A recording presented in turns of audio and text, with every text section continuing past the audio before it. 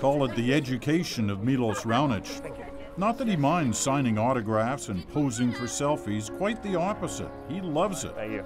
Always has a moment for genuine fans. Milos round. Yes. May I take a photo? Yes. Thank you. You're a great player, man. Thank you very much. The men's are pretty small, so It's just, with all the experience that has come with fame, he's a little more careful now, watching out. Well, for little things, like blue sharpies. because blues don't fade. Is that That's how, how you know. They have a photo of you, and those are normally the people that wait in front of hotels. Because blues, you can't tell the difference because they won't fade whatsoever. And then they'll say it's an old photo that Roger signed right after Wimbledon when he won in 2003.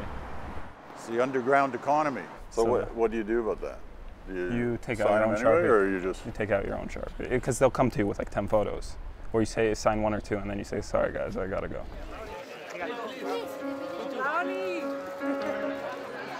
Knowing the value of your name, controlling the image, it's all part of being a sports celebrity in 2016, of what's essentially become Milos Raonic Inc. Could I take the photo, please? With this boy? My team's very big, actually, to be honest with you. So I got two coaches. I have a physiotherapist. Uh, I have a backup physiotherapist. I have a chiropractor. I have a doctor. I have a nutritionist. I have a chef that comes sometimes. A manager, an agent, somebody else that helps out on that side. So there's all these people, but at the same time, all those people understand that the most important thing is what I do and doing the best thing for me to win the last point when I'm on the court. Sounds like a business in itself. It is. It is a business. Uh, you are the founder of it, and uh, you're sort of managing yourself, the product, with the rest of uh, how everybody's taking care of that.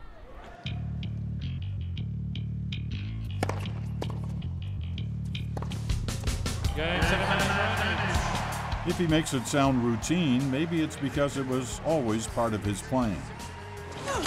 Fueled by one of the most intimidating serves in tennis, Raonic broke through in 2011, just a 20 year old from suburban Thornhill, Ontario. He rocketed from number 152 in the world rankings to number 37 in just a month. It may have been a jolt into Canada's consciousness, but for Raonic himself, well, he says he always saw himself heading toward number one. I, you probably haven't seen this since you filled it out when you were 13 or 14 years Uh. old, but it's the player development sheet at Tennis Canada where you are asked, "What are your long-term goals?" And there you have it. You know, become number one in the world in ATP singles. That's, That's not. still the dream. that's never going to change. Yeah. That's always where I want to be. Our finalist, Milos Raonic. The thing is, more than five years into becoming tennis's next big thing, the game's future superstar, he's still largely just that, hovering for some time now around the top 10. Which begs the inevitable question Has Raonic peaked, or is the future right now?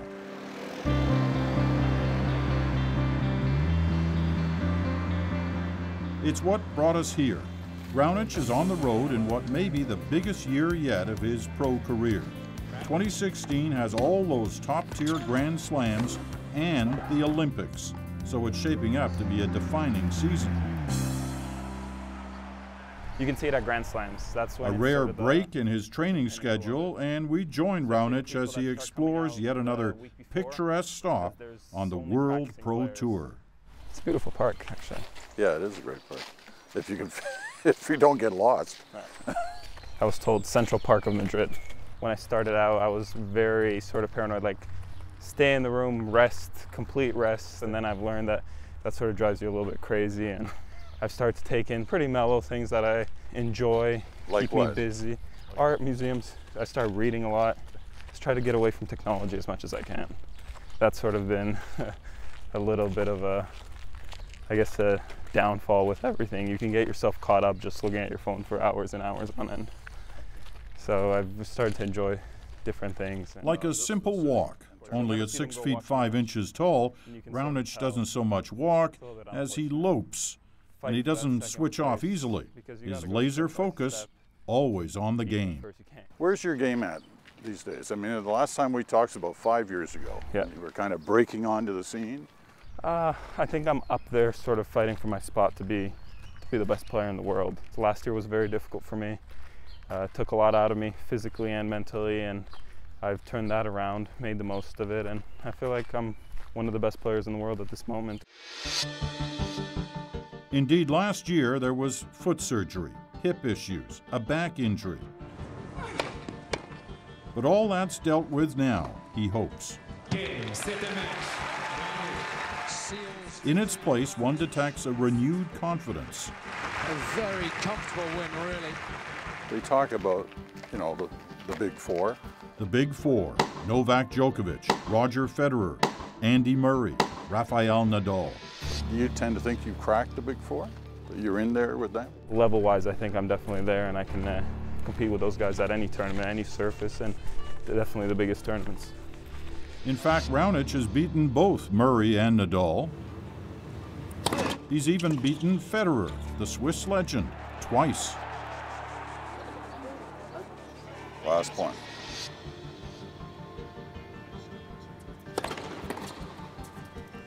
And he does it. That was a big deal. Yeah, it was. It was a, it was a great sort of weight and relief. Uh, that moment on its own was very important for me, but I think more so the fact that the last nine months I struggled with injury, and there it was a big relief with everything I'd faced.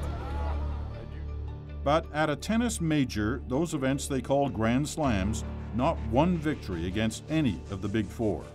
And that failure to break through has, on occasion, pushed Raonic's natural aggression over the edge. Now that's an emotion that we're not used to seeing from here. Yeah, I have to say I was quite embarrassed about that after. Everything was going well, I was playing well. I had a chance, a very good chance in my mind to uh, reach further than I ever reached in a slam before, and it just came out of me. I felt that was my body being uh, an enemy to me at that point, and I'd done everything I could to avoid whatever happened in that situation and with that injury, but sometimes that's just not enough. And so Raonic went back to work. It's always about getting back to work and about what comes next on the path to number one. Is there a period of time in which you've got to accomplish that goal? I mean, at at a certain point, the clock runs out on all of us, right? Yeah, that's true. If I'm 25 right now, and uh, I feel like time is running out on me every single day, but I felt that way when I was 21. So um, if you are deserving of being number one, eventually you will be there. Uh, nothing else is going to stop you, but you got to get to that level first. That ambition, those high expectations, reach into just about every aspect of his life charity endeavors, modeling for sponsors. Even his girlfriend is a super achiever, the Canadian top model, Danielle Knudson. And in the rare moments he gives himself permission to bask in celebrity, well, Okay, here's the last one. Last video. The NBA All Star Celebrity Game. by USA, and Tracy McGrady spoils the party. Roundage. Oh, How'd that feel like? Uh, that was Even Drake there. all yeah, that was a lot of fun. I have to say, it's something I've wanted to do for many years. Uh, probably shouldn't have done it at that point, considering where my leg was at. But uh, there wasn't very little that was going to stop me from participating in that, uh, especially being in Toronto. Now you played basketball, right? In high school. No, never, No? never played. That was the first time I actually played an actual game of basketball with a referee. You're kidding. Never played before that. Now, did you practice that dunk move? Uh, well, I practiced jumping before that, but I, I couldn't really jump before that because of my leg. But we did spend some time on a basketball court. I love playing basketball. I shoot around all the time, but we just can't play because fingers can go very quickly, ankles, and all these kind of things that sort of make you a little bit paranoid and cautious when it comes to other sports. Does that cramp your whole lifestyle? The fact that you can't do stuff like that? No, it's all worth it. And I've, ne- I've never thought of it ever as a sacrifice. I just said always to myself is really this time you have right now, make the most of it so you don't have any regrets after. And you can be the guy that plays basketball when he's 30 something, that goes skiing, that buys a motorcycle then, or whatever you want it to be. But right now, make the most of your tennis. which brings us back to this pivotal year. and that spotlight that's always a little more intense if you're a top seed. What happens in the days and weeks ahead really will determine if this is just another year on the Pro Tour or the year Raonic finally vaults to the top. Thank you. Maybe even takes Canada for a ride too. Olympics. This will be your second. What does it mean to you? Uh, the greatest uh, opportunity to represent Canada with a lot of pride and on the biggest international stage. How about the fact that you're sitting there with a lot of people are basically amateur athletes, right? You're one of those that are making a lot of money. Is, uh, do you, is there a resistance there, or do you? No, I think that's looked beyond easily because everybody's there to succeed and to win. I think that's what everybody's there. Um, at that particular event, there's no money being made for tennis players. There's no points being made, and there's no, let's say, progressive uh, initiative for us other than wanting to win a medal, a gold medal for Canada. Your connection with Canada uh, is still very strong, uh, just as it was uh, when we talked a few years ago. I mean, you weren't born in Canada, but you were raised in Canada. Uh, you don't live in Canada anymore. Your family does, and you're, you're back. Uh, how has the connection stayed so so strong? Canada's given me every opportunity, not just to me, to my family. Uh, gave my parents great jobs so that they could give opportunities to all three of us my brother, my sister, and myself. And because of these opportunities, uh, we've been able to step up and really make the most for ourselves. And would I be playing tennis if I didn't move at three years old to Canada? Probably not. Uh, definitely not at this level. So when you look at this, how old were you when you started? When you first Eight started? years old. Eight years old when I started playing. And uh, it was actually probably similar to this. It was uh, Our walk nearly done. We run right into the future.